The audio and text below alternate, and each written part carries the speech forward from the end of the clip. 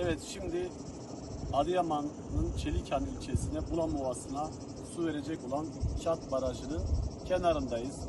Arkamızda gördüğünüz Çelikan Adıyaman sulama projesine ilişkin inşaat alanı yıllardır 2015 yılından beri iktidar tarafından yaptık, bitirdik, su gelecek dedilen şey işte gördüğünüz gibi arkamızda inşaata başlanılmış ancak işler yarım bırakılmış durumda. Şu anda ciddi bir çalışma yok. Çalışmaların tamamı durdurulmuş durumda. En son Devlet Su İşleri Genel Müdürlüğü'ne ve Tarım Bakanlığı'na so- sormuş olduğumuz soru önergesinde 2 Şubat'ta verdikleri cevapta işin fiziki gerçekleşme oranının %99 olduğu şeklinde bir cevap gelmişti. Ancak sahada yapmış olduğumuz gözlemde işin değil %99'u, işin %19'u, 29'u dahi tamamlanamamış durumda. Gerçekten burada çok büyük bir muamma var. Biz bunu takip edeceğiz.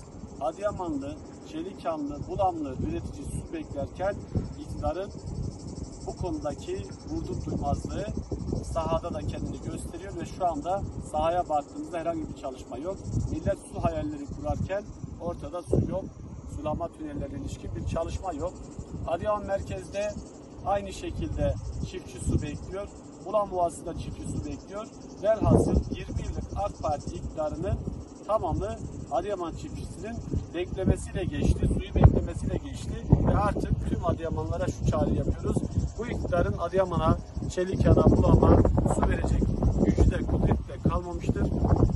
Biz bu yatırımları takip edeceğiz ve şu Adıyamanlara sandıkta iktidara geldiğimizde yetki verildiğinde Adıyaman'daki bütün sulama projelerini tamamlayacağız. Çelikan Adıyaman sulama kanalını açıp Bulan Ovası'nı, Adıyaman Ovası'nı suyla buluşturacağız. Çelikan Ovası'nı suyla buluşturacağız. Ve AK Parti'nin 20 yıldır ihmal ettiği bütün bu yatırımları bitireceğiz. Halkımız daha çok üretecek ve topraklarını sulayarak geçimlerini çok daha rahat sağlayacaklardır.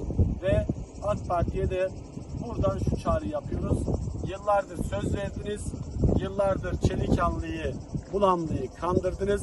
Gelin şuradaki çalışmaları AK Parti iktidar milletvekillerine sesleniyorum. Çelikan'a yapacağınız ilk ziyareti de buraya yaparsanız en azından buradaki tabloyu, buradaki e, durumu da yerinde görmüş olursunuz.